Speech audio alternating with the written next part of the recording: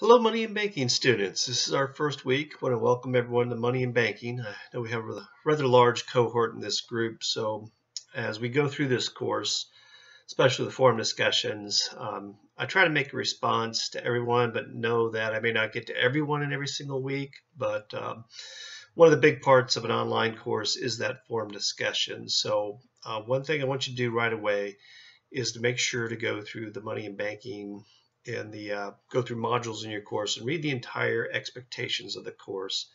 Uh, within that is also a rubric for the uh, forum discussions. And one of the things on this course uh, to be successful in is really to post early and to post often. You'll notice that the uh, first forum discussion post has to be done by Wednesday, has a certain length to it, and then you're expected to follow up by, to one peer by at least Friday and another peer by Sunday. So I will put these mini lectures out there every Sunday to give you an overview for the week. Uh, if you go through the course, which I encourage you to do, you'll notice the different modules. So it's broken up into modules. So the learning objectives are clearly laid out for you. Uh, every week, you pretty much will have a quiz, a homework, and a forum discussion. And then you have two other major projects in the group and midterm and a final exam.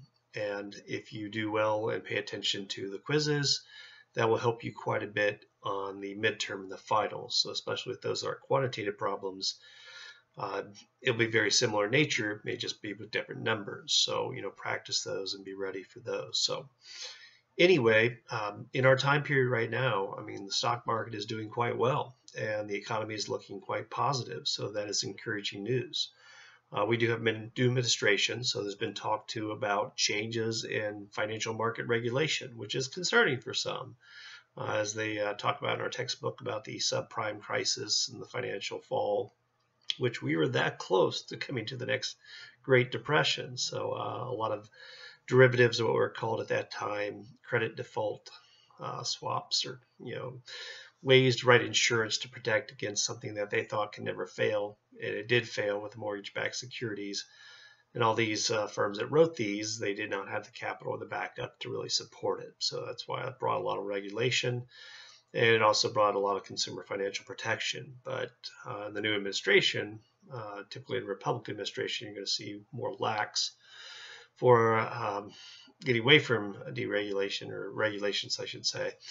And should there be concern? Uh, obviously, there's those on the banking side that would like to see less regulation, but there's also from the consumer or the economy side that are concerned that if we start repealing some of these things, we might be setting ourselves up again. So that's a little bit of the debate, you know, that's going on uh, in this arena.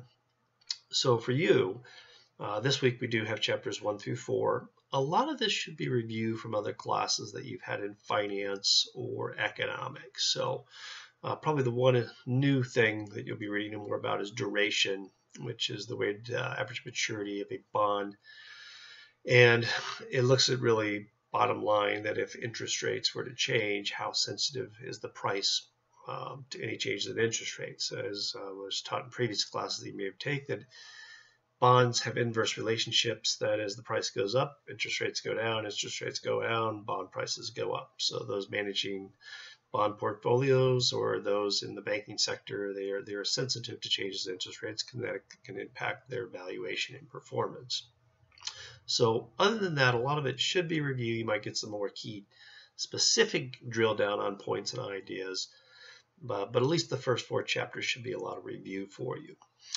So what I do is I try to jump in daily in the course just to see how things are going on. Uh, if you have questions, the best way is to check in with me via email.